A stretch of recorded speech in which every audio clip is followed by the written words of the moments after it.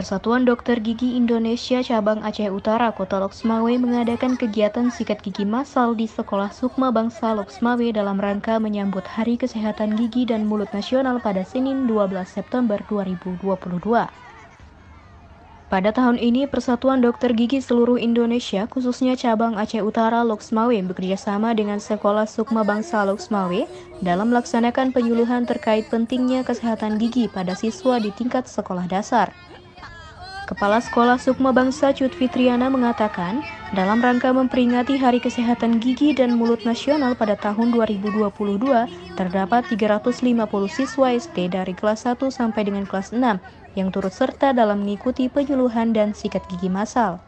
Kegiatan ini dilakukan untuk menjaga kesehatan gigi pada siswa sekolah dasar. Lantaran di usianya mereka baru mengalami pertumbuhan gigi dari gigi susu yang akan tergantikan dengan gigi dewasa. Menurut Cut Fitri, memberikan edukasi untuk menjaga gigi tetap sehat pada anak sangatlah penting, lantaran sering terjadi pada siswa yang tidak masuk sekolah disebabkan oleh sakit gigi. Dengan adanya dukungan dan kerjasama antara pihak sekolah Sukma Bangsa dengan PDGI Aceh Utara Loksmawe, diharapkan dapat menambah semangat dan motivasi untuk menjaga kesehatan gigi terutama untuk para siswa. Dari dalam keluar. Oke. Baik, nah uh, seperti yang kita ketahui bersama, kalau kesehatan gigi itu sangat penting, apalagi untuk siswa kita yang sekarang ini pada usia sedang uh, giginya itu sedang bertumbuh, sedang berganti dari gigi susu ke gigi asli gitu ya. Jadi uh, kesehatan mereka mengetahui, mengetahui edukasi kesehatan gigi sejak dini itu dari awal itu tentu sangat penting. Artinya dari sekarang mereka sudah bisa menjaga kesehatan giginya. Nah uh, ini juga anak-anak kan juga uh, sering ya kalau misalnya uh, tidak hadir ke sekolah karena sakit gigi.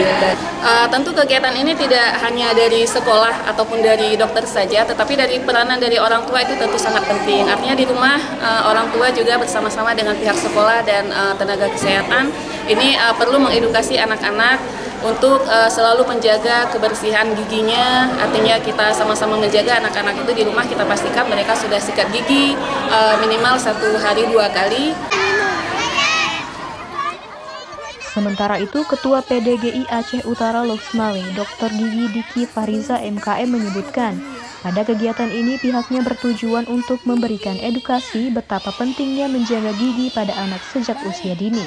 Dokter Gigi Diki Fariza juga berpesan kepada orang tua siswa untuk memberikan edukasi tentang menjaga kesehatan gigi dengan cara mengajak anak untuk sikat gigi minimal dua kali sehari, yakni pada pagi hari dan malam sebelum tidur agar tidak terjadi karies pada gigi anak.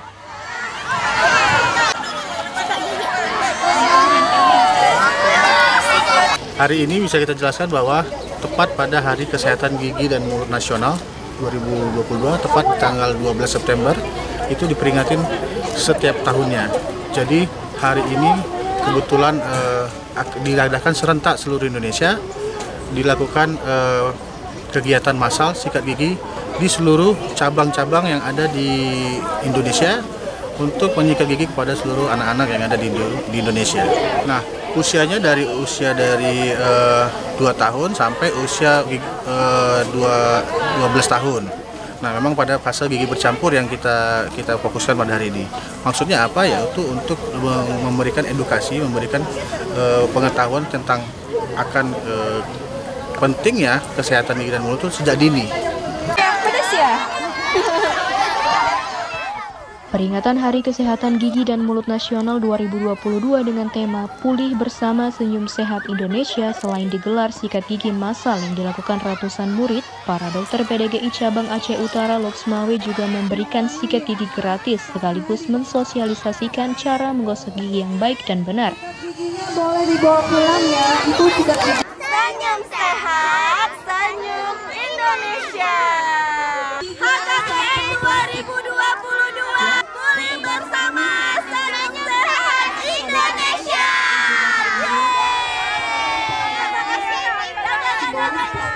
guys.